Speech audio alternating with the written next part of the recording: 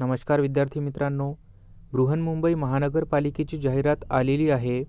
तर या जाहिरातीमध्ये कनिष्ठ लघुलेखक इंग्रजी आणि मराठी या पदांसाठी जागा आहेत.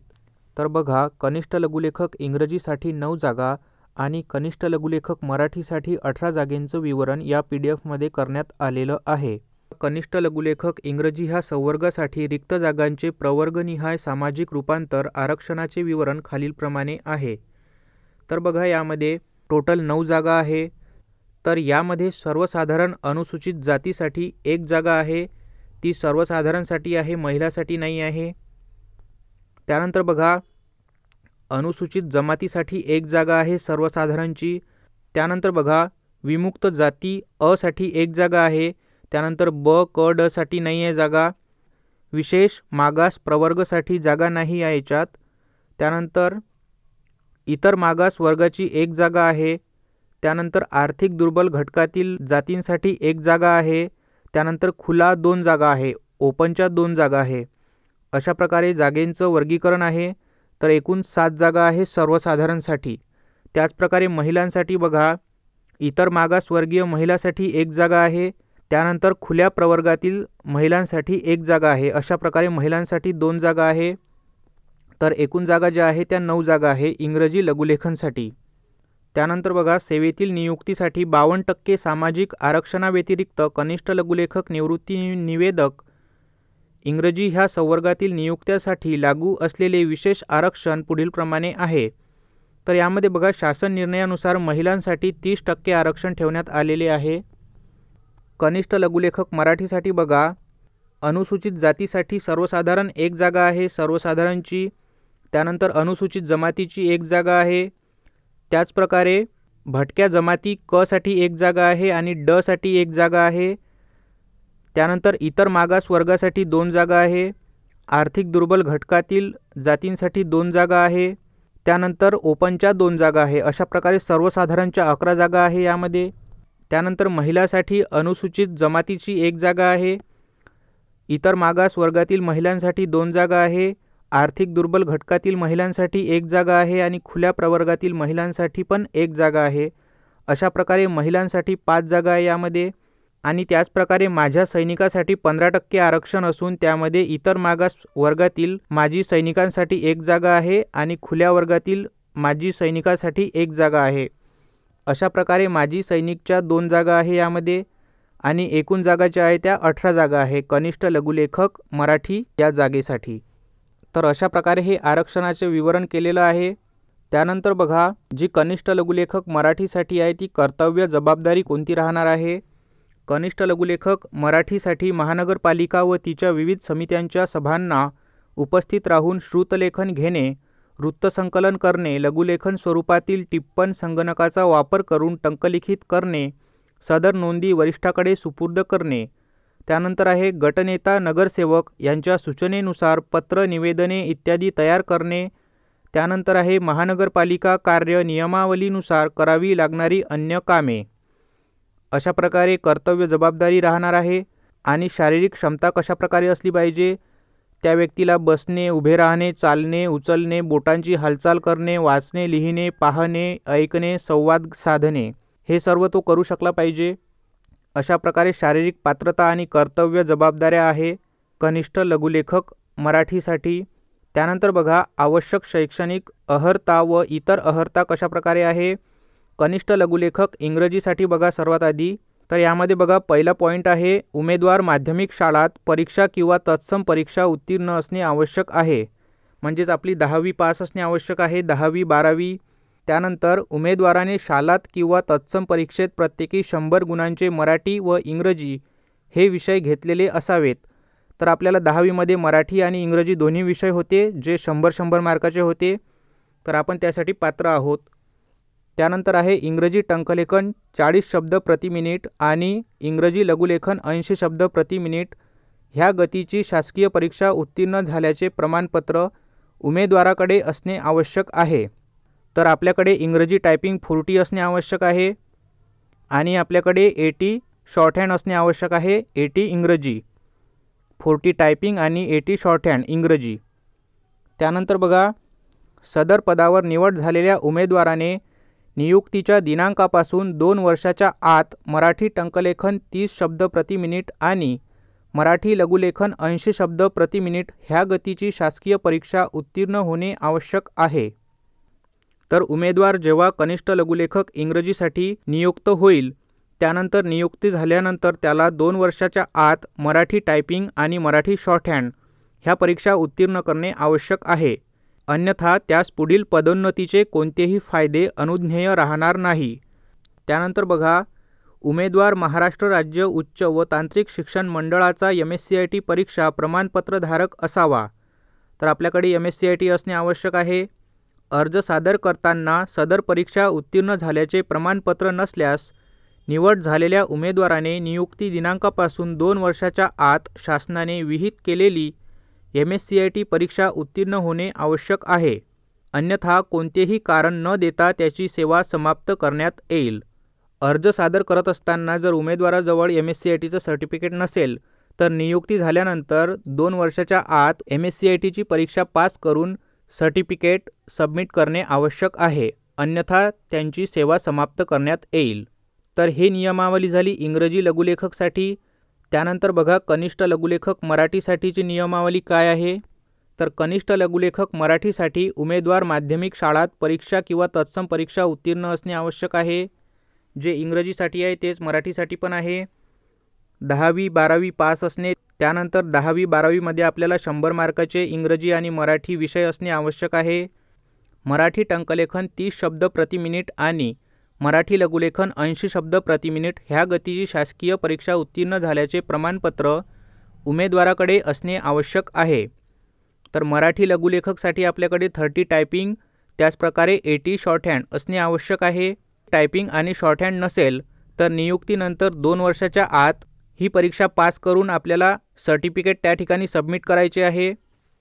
त्यानंतर बघा उमेदवार महाराष्ट्र राज्य उच्च व तांत्रिक शिक्षण मंडळाचा M S C I T परीक्षा उत्तीर्ण असणे आवश्यक आहे. जर नसेल तर नियुक्तीनंतर दोन वर्षाच्या आत M S C I T pass करून सबमिट करणे आवश्यक आहे.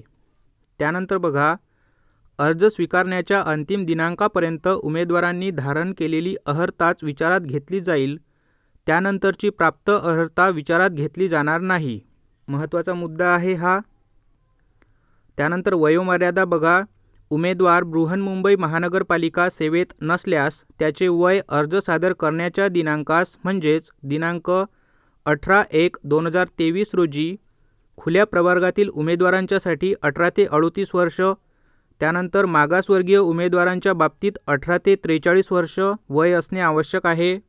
त्यानंतर जे उमेदवार बृहन्मुंबई महानगरपालिकेच्या सेवेत आधीच रुजू आहे त्यांना कोणतीही वयोमर्यादा नाही आहे. त्यानंतर दिव्यांग व्यक्तीसाठी शासन सेवा प्रवेशासाठी सोळा जून दोन हजार एकचा शासन निर्णयान्वये त्यांचे वय जे आहे ते पंचेचाळीस वर्षे इतकेच राहील. त्यानंतर बघा निवडीचे निकष व कार्यपद्धती कशाप्रकारे राहणार म्हणजेच आपलं सिलेक्शन कशाप्रकारे होईल? तर बघा कनिष्ठ लघुलेखक इंग्रजी आणि कनिष्ठ लघुलेखक मराठी ह्या पदांसाठी जाहिरातीत नमूद केलेल्या सेवा प्रवेश नियमानुसार विहित केलेली अहर्ता व अटीची पूर्तता करीत असलेल्या पात्र उमेदवारांची कनिष्ठ लघुलेखक इंग्रजी ह्या संवर्गासाठी इंग्रजी लघुलेखनाची ऐंशी शब्द प्रति मिनिट वेगाची व्यावसायिक चाचणी घेण्यात येईल. त्याचप्रकारे आपली forty words per minute typing test घेण्यात येईल. त्यानंतर निवडीसाठी पात्र उमेदवारांची प्राप्त होणाऱ्या एकूण गुणांच्या आधारे प्रथम गुणवत्ता यादी तयार करण्यात येईल. सदर यादीनुसार विहित आरक्षणाच्या अनुषंगाने उमेदवाराच्या मूळ शैक्षणिक व इतर अनुषंगिक आवश्यक कागदपत्रांची पडताळणी करून अंतिम निवड यादी तयार करण्यात येईल. तर यामध्ये आपली टायपिंग टेस्ट आणि स्किल टेस्ट यावरच आपला रिझल्ट डिक्लेअर करण्यात येईल. दोन किंवा त्यापेक्षा जास्त उमेदवारांचे समान गुण असल्यास खाली दिलेले निकष क्रमवारीनुसार विचारात घेण्यात येईल. दोन विद्यार्थ्यांना समान गुण असल्यास माध्यमिक शाळेतील परीक्षेची टक्केवारी आपली दहावी बारावीची टक्केवारी लक्षात घेतली जाईल. त्याचबरोबर वरील निकष लागूनही उमेदवारांना गुणवत्ताक्रम समान येत असल्यास वयाने ज्येष्ठ असलेल्या उमेदवाराला प्राधान्य देण्यात येईल. ज्या व्यक्तीचे वय जास्त आहे त्या व्यक्तीला तेथे प्राधान्य देण्यात येईल.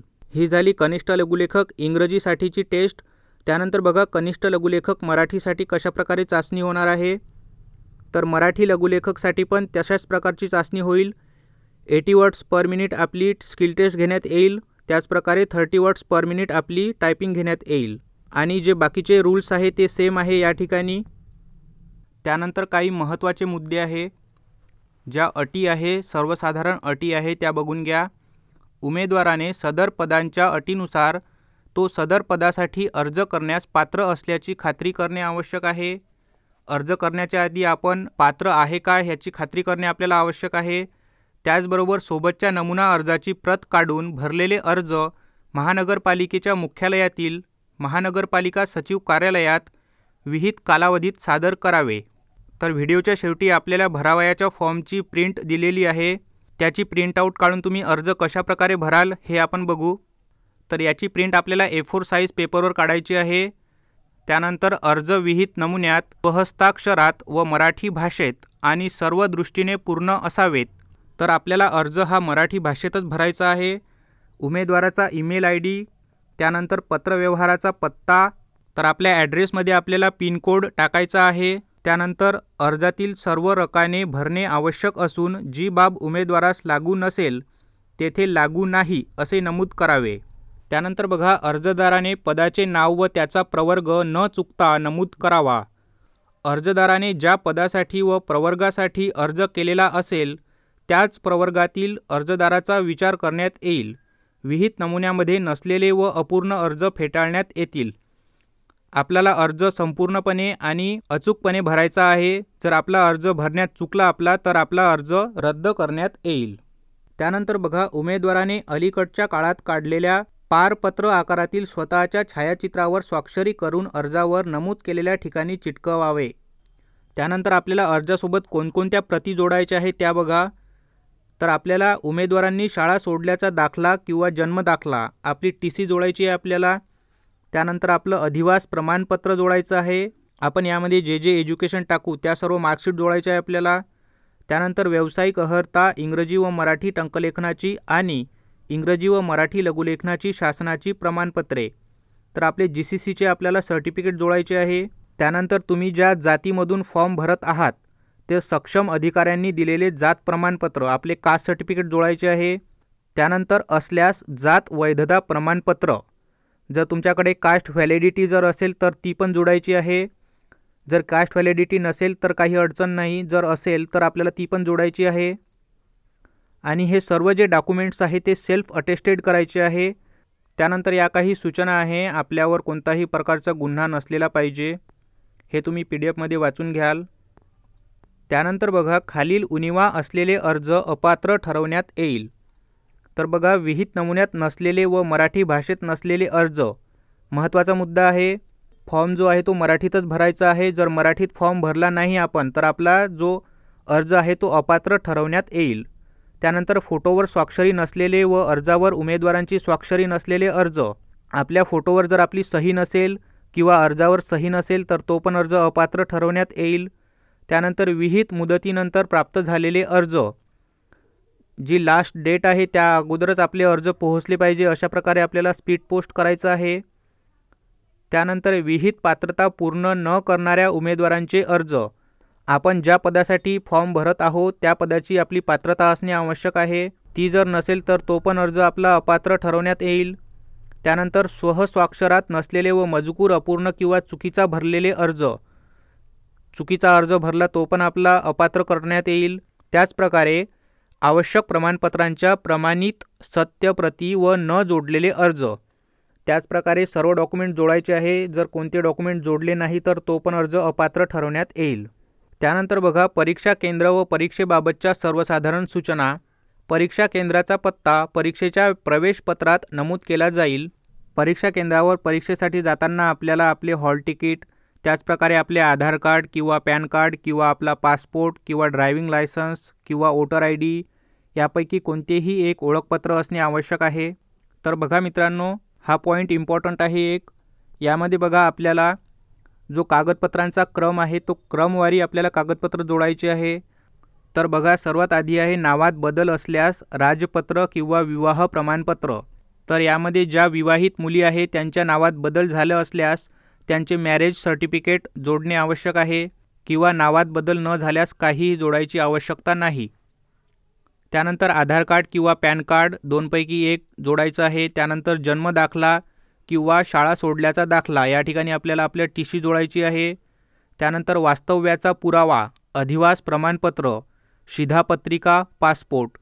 या ठिकाणी आपल्याला पासपोर्ट जोडायचा आहे आपला किंवा आपली शिधापत्रिका म्हणजे जी आपली राशन कार्डची झेरॉक्स आहे. ती जोडायची आहे. तर या ठिकाणी सर्वात सोपी जी आहे ते शिधापत्रिका जोडून द्या तुम्ही. म्हणजेच आपली राशन कार्डाची झेरॉक्स जोडून द्या. त्यानंतर आहे बृहन्मुंबई महानगरपालिकेच्या नियमित सेवेत असल्यास ओळखपत्राची प्रत. तर ही प्रत जोडायची आपल्याला आवश्यकता नाही. त्यानंतर दहावी गुणपत्रिका व प्रमाणपत्र आणि तत्सम. तर या ठिकाणी आपल्याला दहावीची मार्कशीट जोडायची आहे. त्याचप्रकारे प्रमाणपत्र जोडायचं आहे. म्हणजेच आपलं बोर्ड सर्टिफिकेट जोडायचं आहे. त्यानंतर बघा लघुलेखनाची शासकीय परीक्षा गुणपत्रिका व प्रमाणपत्रे. आपले जी सी सीचं सर्टिफिकेट जोडायचं आहे. जर मराठी लघुलेखकसाठी भरत असाल तर मराठी जी सी सीचे सर्टिफिकेट आणि इंग्रजी लघुलेखकसाठी भरत असाल तर इंग्रजी जी सी सीचे सर्टिफिकेट त्यानंतर आपले टायपिंगचे सर्व सर्टिफिकेट जोडायचे आहे. त्यानंतर संगणक अर्हतेचे प्रमाणपत्र आपलं M S C I T certificate जोडायचं आहे. त्याचप्रकारे आपलं जात प्रमाणपत्र ज्या जातीमधून तुम्ही फॉर्म भरत आहात ते आपलं जात प्रमाणपत्र. त्यानंतर जात वैधता प्रमाणपत्र हे ऑप्शनल आहे. जर असेल तरच आपल्याला जोडायचं आहे. त्यानंतर आहे नॉन क्रिमिलियर प्रमाणपत्र. जातीमधून फॉर्म भरत आहात तुम्ही तर या ठिकाणी तुम्हाला नॉन क्रिमिलियर सादर करायचं आहे. जर नॉन क्रिमिलियरची जर वैधता संपली असेल तर तुम्ही त्या ठिकाणी नवीन नॉन क्रिमिलियरसाठी अप्लाय करून त्याची जी पावती आहे ते तुम्ही या ठिकाणी जोडू शकता. त्यानंतर समांतर आरक्षणाबाबतची प्रमाणपत्रे. जे आरक्षण घेणारे जे उमेदवार आहे त्यांना त्याबाबतची प्रमाणपत्रे जोडायची आहे. त्यानंतर सेवा योजन कार्यालयाचे प्रमाणपत्र. हे जोडायची आपल्याला गरज नाही. त्यानंतर शिक्षा गुन्हा न्यायालयातील प्रकरण असल्यास त्याबाबतची कागदपत्रे. याची पण आपल्याला गरज नाही. त्यानंतर पूर्वीच्या नियोक्त्याचे ना हरकत प्रमाणपत्र. तर याची पण आपल्याला गरज नाही. तर अशा प्रकारे हा कागदपत्रांचा क्रम आहे. हा तुम्ही योग्य प्रकारे जोडणे आवश्यक आहे. आपल्याकडून थोडीशी जरी चूक झाली तर आपला अर्ज हा बाद केला जाईल. त्यानंतर बघा अर्जाचा फॉर्मॅट दिलेला आहे. तर बघा या ठिकाणी दिनांक दिलेली आहे च्या जाहिरातीला अनुसरून. म्हणजे या ठिकाणी आपल्याला कोणती दिनांक टाकायची आहे? अठरा एक दोन हजार तेवीस. तर दिनांक अठरा एक दोन हजार तेवीसच्या जाहिरातीला अनुसरून बृहन्मुंबई महानगरपालिकेमधील महापालिका सचिव कार्यालयाच्या आस्थापनावरील तर या ठिकाणी आपल्याला कोणत्या पदासाठी अर्ज करायचा आहे ते टाकायचं आहे. कनिष्ठ लघुलेखक इंग्रजीसाठी टाकायचा असल्यास त्याप्रकारे भरायचं आहे किंवा कनिष्ठ लघुलेखक मराठीसाठी भरायचा असल्यास कनिष्ठ लघुलेखक मराठी टाकायचं आहे. ह्या पदाकरिता मी खाली सही करणार विनंती अर्ज सादर करीत आहे. माझी सविस्तर माहिती पुढीलप्रमाणे आहे. या ठिकाणी आपल्याला उमेदवाराचे संपूर्ण नाव या ठिकाणी आपल्याला पूर्ण नाव टाकायचे आहेत. या ठिकाणी सर्वात आधी आपलं आडनाव असलं पाहिजे त्यानंतर आपलं नाव नंतर वडिलांचं नाव. अशा प्रकारे फॉर्मॅट असला पाहिजे हा. त्यानंतर वडिलांचे पतींचे नाव. तर या ठिकाणी वडिलांचे नाव असले पाहिजे. विवाहित महिलांचे विवाहपूर्वीचे नाव टाकायचे आहे यामध्ये. त्यानंतर आपला कायमचा पत्ता टाकायचा आहे यामध्ये. कायमच्या पत्त्यामध्ये आपला पिनकोड क्रमांक असणे आवश्यक आहे. त्यानंतर उमेदवाराचा ईमेल आय डी टाकायचा आहे आपला ईमेल आय डी टाकायचा आहे या ठिकाणी. त्यानंतर पत्रव्यवहाराचा पत्ता टाकायचा आहे आपल्याला परमनंट ॲड्रेस टाकायचा या ठिकाणी आणि पिनकोड टाकायचा आहे. त्यानंतर लिंग टाकायचं आहे पुरुष असल्यास पुरुष किंवा स्त्री असल्यास स्त्री.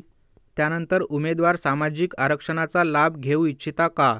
घेत असल्यास होय किंवा नाही.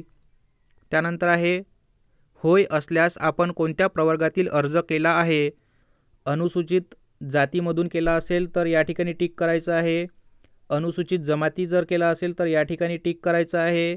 विमुक्त जातीमधून केला असेल तर या ठिकाणी टिक करायचं आहे.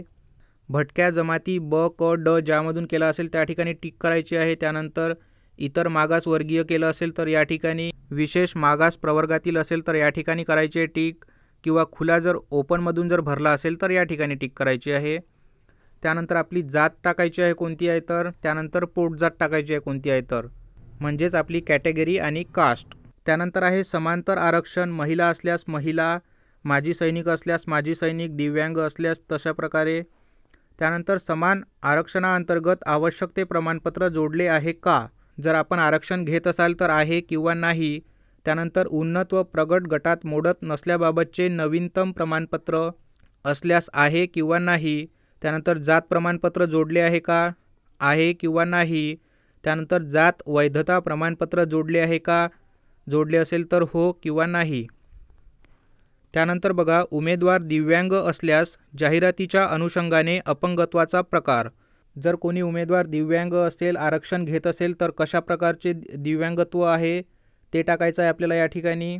त्यानंतर बघा जन्मदिनांक टाकायचा आहे आपल्याला दिनांक महिना आणि वर्ष. त्यानंतर बघा नऊ दोन दोन हजार तेवीस रोजी असलेले वय ह्या तारखेला आपले किती वय राहणार आहे ते टाकायचं आहे या ठिकाणी आपल्याला. हे तुम्ही एज कॅल्क्युलेटरवर काढून या ठिकाणी टाकू शकता. त्यानंतर आपली शैक्षणिक अर्हता बघा. या ठिकाणी आपले एस एस सीचे मार्क्स टाकायचे आहे. शाळात परीक्षा मंडळाचे नाव टाकायचे आहे एकूण गुण टाकायचे आहे.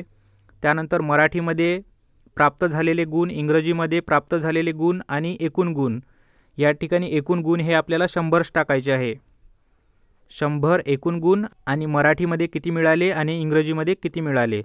त्यानंतर आपली दहावीची टक्केवारी टाकायची आहे आणि आपलं अटेम्प्ट टाकायचं आहे. फर्स्ट अटेम्प्ट असेल तर फर्स्ट तर या ठिकाणी आपल्याला इंग्रजी लघुलेखनाची गती टाकायची आहे. तुमच्याकडे शॉर्ट हँडचे जेवढे जास्त सर्टिफिकेट असेल जर वन ट्वेंटी असेल तर वन ट्वेंटी टाका तुम्ही. जर हंड्रेड असेल तर हंड्रेड टाका. त्यानंतर इंग्रजी टंकलेखनाची गती फोर्टी टाकायची आहे. त्यानंतर मराठी लघुलेखनाची गती वन ट्वेंटी असेल तर वन ट्वेंटी टाका किंवा एटी असल्यास एटी टाका. त्यानंतर मराठी टायपिंग टाका थर्टी असल्यास थर्टी किंवा फोर्टी असल्यास फोर्टी त्यानंतर संगणकीय ज्ञान M S C I T असल्यास एम एस सी आय टीचं टाका या ठिकाणी. त्यानंतर उमेदवाराला पूर्वी शिक्षा झाली होती का? तर या ठिकाणी काय टाकायचं आहे? लागू नाही. त्यानंतर झाली असल्यास त्याचा तपशील तर या ठिकाणी पण लागू नाही. त्यानंतर उमेदवाराविरुद्ध पोलीस चौकशी झाली होती का? त्यानंतर इथे पण लागू नाही. असल्यास त्याबाबतचा तपशील द्यावा. तर या ठिकाणी पण लागू नाही. त्यानंतर बघा सध्या अर्जदार इतरत्र नोकरीस आहे का? जर असल्यास हो नसल्यास लागू नाही. आणि असल्यास त्याचा तपशील द्यायचा आहे या ठिकाणी. पुढे कुठे नोकरीवर आहे? कोणत्या डिपार्टमेंटला आहे? या सर्व प्रकारे. त्यानंतर उमेदवार राहत असलेल्या ठिकाणचा स्थानिक पोलीस ठाण्याचा पत्ता. तुमच्या गावा किंवा शहराजवळचे जे पोलीस स्टेशन आहे त्या पोलीस स्टेशनचा पत्ता द्यायचा या ठिकाणी. त्यानंतर आपला विश्वासू आपली सही करायची आहे या ठिकाणी. दिनांक टाकायचा आहे. ज्या तारखेला आपण अर्ज करीत आहोत तोच दिनांक टाकायचा आहे या ठिकाणी. त्यानंतर स्थळ टाकायचं आहे. कोणत्या स्थळावरून तुम्ही अर्ज करत आहात ते स्थळ टाकायचं आहे. तुम्ही गावातून करत असाल तर गावाचं नाव टाकायचं आहे. शहरातून करत असाल तर शहराचं नाव टाकायचं आहे. त्यानंतर सोबत प्रमाणपत्रांच्या साक्षांकित छायाप्रती. आपण कोणकोणते अर्ज जोडलेले आहेत त्या सर्व अर्जांचा तपशील द्यायचा या ठिकाणी. आपण एस एस सी सर्टिफिकेट जोडलं एस एस सी टाकायचं आहे त्यानंतर शॉर्ट हँडचे सर्टिफिकेट जोडले ते सगळे शॉर्ट हँडचे टाकायचे आहे टायपिंग जोडले आहे ते टायपिंग टाकायचं आहे. त्याचप्रकारे कास्ट सर्टिफिकेट कास्ट व्हॅलिडिटी जोडली आहे ते सर्व टाकायचं आहे या ठिकाणी. त्यानंतर काही अटी व शर्ती आहे. उमेदवारास नियुक्तीवेळी ठराविक नमुद्यात नमूद केलेली शपथ ग्रहण करावी लागेल. त्याने राहण्याचे मूळ गाव दिले पाहिजे. त्यानंतर त्याने महानगरपालिका सचिव कार्यालयास अथवा संबंधित अधिकाऱ्यास एक महिन्याची आगाऊ नोटीस दिल्याशिवाय नोकरी सोडून जाता कामा नये. त्यानंतर संबंधित पोलीस ठाण्याचे वर्तणुकीबद्दलचे दाखले सादर केले पाहिजेत. हे आपल्याला अर्जासोबत नाही जोडायचं आहे हे आपल्याला नियुक्तीच्या वेळेस द्यायचं आहे. त्यानंतर जर उमेदवार नेमणुकीचे आदेश मिळाल्यापासून सात दिवसांच्या आत हजर झाला नाही तर वरील आदेश रद्द केले जाईल असे समजण्यात येईल. सदर जाहिरातीमधील सर्व अटी व शर्ती मला मान्य आहे. त्यानंतर या ठिकाणी आपली फायनल सिग्नेचर त्यानंतर बघा उमेदवार जर विवाहित असेल तर त्याबद्दलचा नमुना अ आपल्याला सादर करायचा आहे. तर या ठिकाणी त्यांचे पूर्ण नाव त्यानंतर त्यांना किती अपत्य आहे त्यांचे वय कोणत्या पदासाठी अर्ज सादर केला आहे त्याचप्रकारे मला या रोजी किती मुले आहेत त्यानंतर दोन हजार पाच नंतर जन्माला आलेल्या मुलांची संख्या किती आहे अशा प्रकारे आपल्याला हा नमुना अ पूर्णरित्या भरून आपल्याला शेवटी आपली सही आणि दिनांक आणि ठिकाण या ठिकाणी टाकायचं आहे. अशा प्रकारे हा अर्जाचा फॉर्मॅट आहे. हा फॉर्म योग्य प्रकारे भरून सर्व कागदपत्रे जोडून तुम्ही लिफाफ्यामध्ये अटॅच करून ज्या कोणत्या पदासाठी आपण अर्ज करत आहात ते ठळक अक्षरात वर लिहायचं आहे. जसे कनिष्ठ लघुलेखक इंग्रजी या पदासाठी अर्ज किंवा कनिष्ठ लघुलेखक मराठी या पदासाठी अर्ज अशा प्रकारे ठळक अक्षरात आपल्याला लिहायचं आहे. त्याचप्रकारे प्रति आणि प्रेषकमध्ये आपला आणि ऑफिसचा पत्ता टाकायचा आहे. आणि हे सर्व कागदपत्रे जोडून आपल्याला हे स्पीड पोस्ट करायचे आहे. अंतिम दिनांकाच्या पाच ते सहा दिवसाआधी आपल्याला अर्ज करायचा आहे. जेणेकरून आपला अर्ज अंतिम दिनांकाच्या आत संबंधित पत्त्यावर पोहोचून जाईल. तर अशा प्रकारे हा अर्ज आहे. काही अडचण असल्यास तुम्ही मला कमेंटमध्ये विचारू शकता. किंवा आमचे टेलिग्राम चॅनल स्टेनो गॅलेक्सीवर विचारू शकता. ज्या विद्यार्थ्यांनी अजूनपर्यंत चॅनलला सबस्क्राईब केले नाही त्यांनी सबस्क्राईब करून घ्यावे आणि बेल आयकॉन प्रेस करून घ्या जेणेकरून तुम्हाला नवीन व्हिडिओजची नोटिफिकेशन सर्वात आधी मिळेल. थँक्यू